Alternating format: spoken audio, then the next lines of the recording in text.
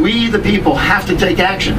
And one of the other things I've got outside is a Citizens of Virginia and Citizens of America to petition Bob McDonnell, the governor of Virginia, to issue a pardon to Washington.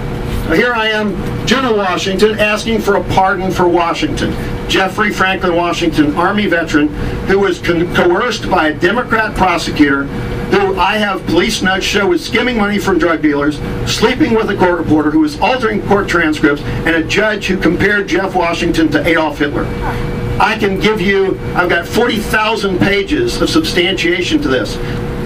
I, as a prior warrior Washington, was a man of faith and action, faith in action.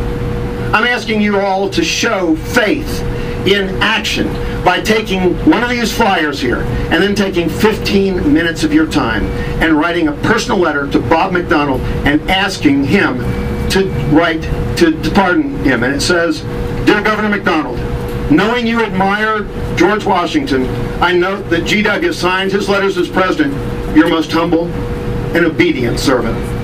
So as my elected servant, I ask you, or I petition you as governor for a redress of grievances to use your God-given, Constitution-granted power to issue an absolute pardon upon Army veteran Jeffrey Franklin Washington.